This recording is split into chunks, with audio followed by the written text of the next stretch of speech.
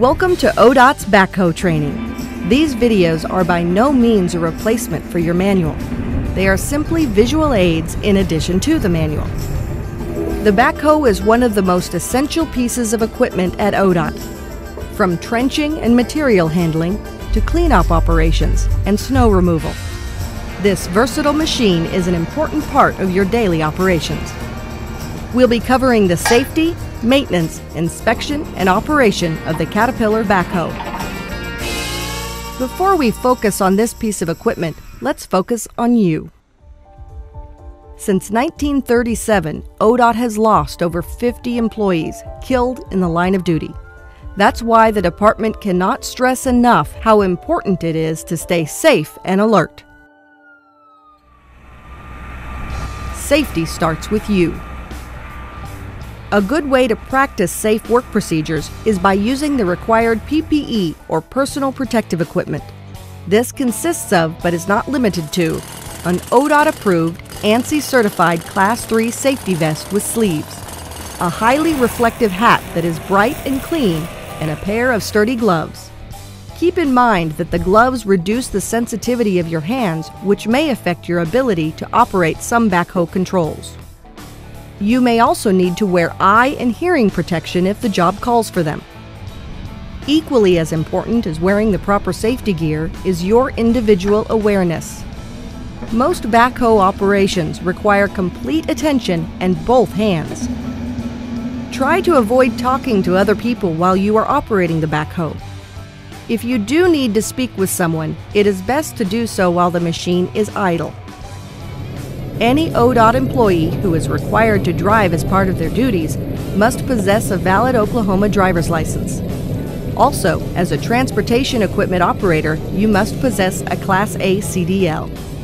Having a driver's license also comes with the responsibility of knowing when you shouldn't drive or operate heavy equipment. Be sure to notify your supervisor if things such as fatigue, a medical condition, or medication might prevent you from safely performing your job.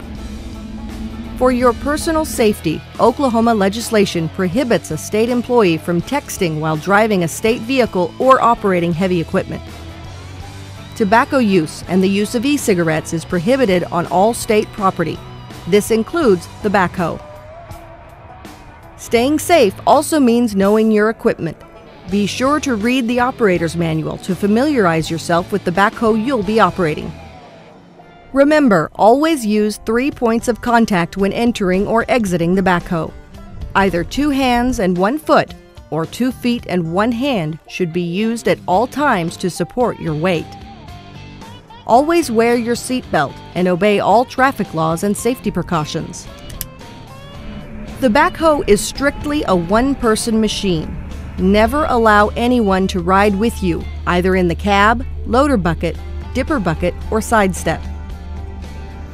While the backhoe is one of the most versatile pieces of equipment you will use at ODOT, it is also potentially the most dangerous. Make certain you follow all safety requirements when operating your equipment. Let's begin by taking a look at the basic components that make up the backhoe. Beginning in the front, we have the loader bucket assembly.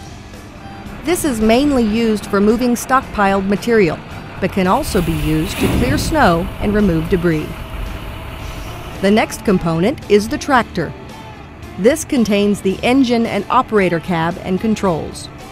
The last component, at the rear, is the backhoe.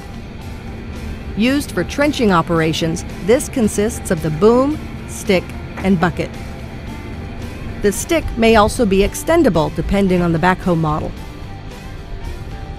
Another important component is the stabilizer arms.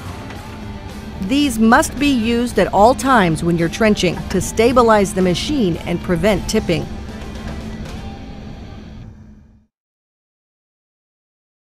The backhoe is a complex piece of equipment, and hand-eye coordination is a must. Be sure to use three points of contact when climbing into the cab. Facing the front of the backhoe while sitting in the operator's seat, you will see the center control console. Here, there are various switches and levers for machine control. The horn is operated via a button at the end of the transmission direction lever. Always ensure that the horn is operational before using the machine.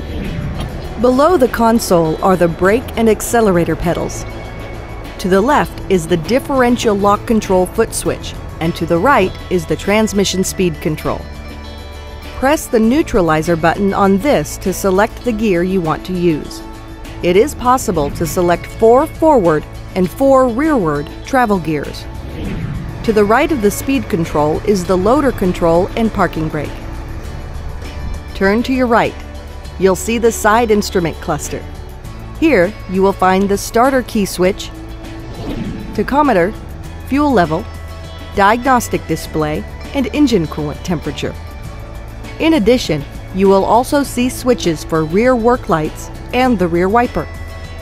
Below this cluster is the cab air recirculation filter.